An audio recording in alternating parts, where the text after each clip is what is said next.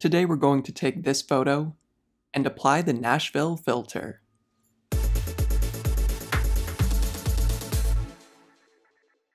Hello and welcome to an Affinity Revolution tutorial.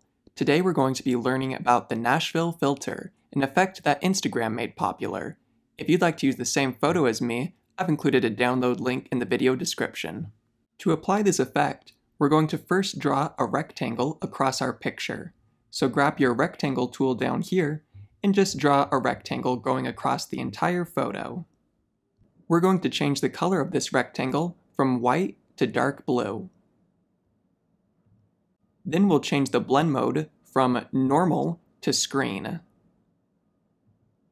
Changing the blend mode to screen makes it so the blue rectangle is only applied to the highlights in the photo. 100% is pretty strong, so let's lower the opacity to 50%.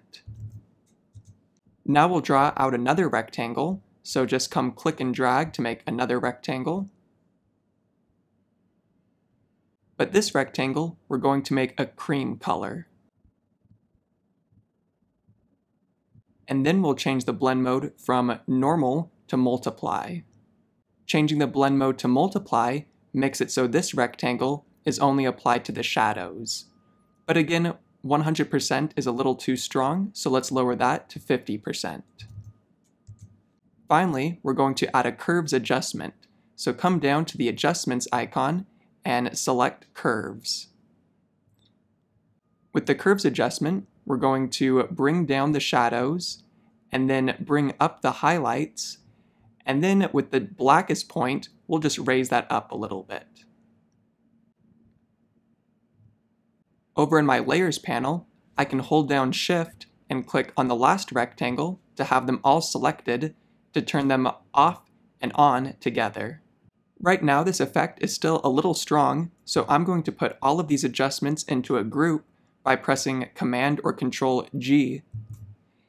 And then with the group selected, I'll lower its opacity to 50%. And now you can see we have a much less extreme effect going on in our photo.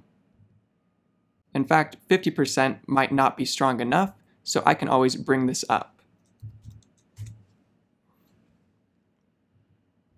You can continue playing around with the opacities of each layer to customize the effect for your photo. And there you have it. That's how you apply the Nashville filter.